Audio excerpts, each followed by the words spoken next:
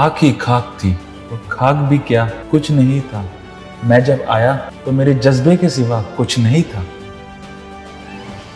इन दो लाइनों में ही सारी कहानी है। जी हाँ ये कहानी है उस लड़की की, जिसने हमें भारतीय होने पर गर्व महसूस करवाया। ये कहानी है उस लड़की की, जिसने हमें लड़की होने पे गर्व महसूस करवाया। ये हर उस लड़की की कहानी है, जो सपने देखना जानती है, जो उड़ना जानती है जो खुद से लड़ना जानती है, जो स्वाभिमान से जीना चाहती है। ये कहानी है बदतमीज ख्वाबों की, ये कहानी है लवलीना की।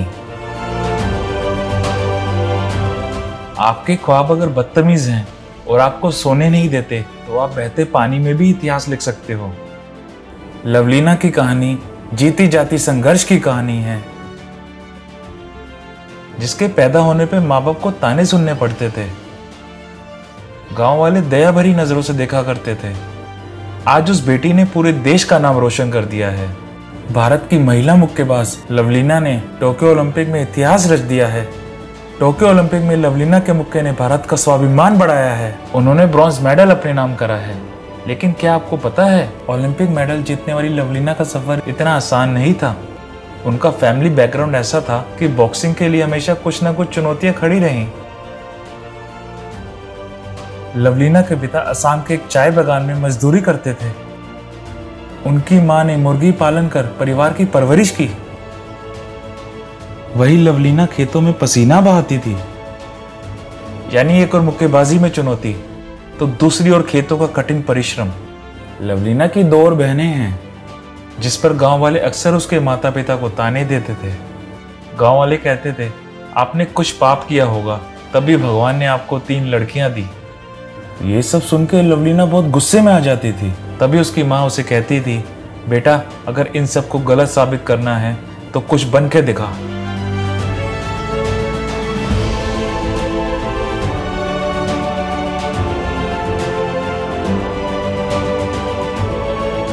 आज लवलीना पर उसके माँ बाप को ही नहीं पूरे देश को गर्व है।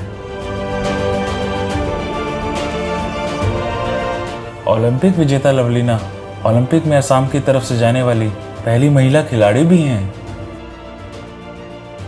लवलीना हर काम खुद से करती है, चाहे बिहू के त्योहार पर फूलों को पिरोना ही क्यों ना हो। या फिर उनका प्रकृति प्रेम, लवलीना हमेशा आगे रहती है। ओलंपिक में अपना जलवा दिखाने वाली लवलीना प्रधानमंत्री मोदी जी के मिशन में हर समय उनके साथ खड़ी रही। पीएम मोदी ने जब कोरोना के अंधकार के खिलाफ दिए जलाने का आह्वान किया तो लवलीना ने दिए जलाए। लवलीना अंतर्राष्ट्रीय योग दिवस पर योग के लिए अपना समर्पण भाव दिखाने से भी नहीं चूकती। असम के एक छोटे से गाँव से आई लवलीना की कहानी आज करोड़ों युवाओं के लिए प्रेरणा है। रन स्वाभिमान का लड़ने को मैं एक अकेले काफ़ी हूँ। एक हिम्मत है तलवार मेरी, दो बाजू है लश्कर। मेरी टूटी हुई शमशीरों से आज तुम्हें शर्म आ जाती है। कल आँखें धुआँ हो जाएँगी जब देखोगे जोहर मेरा।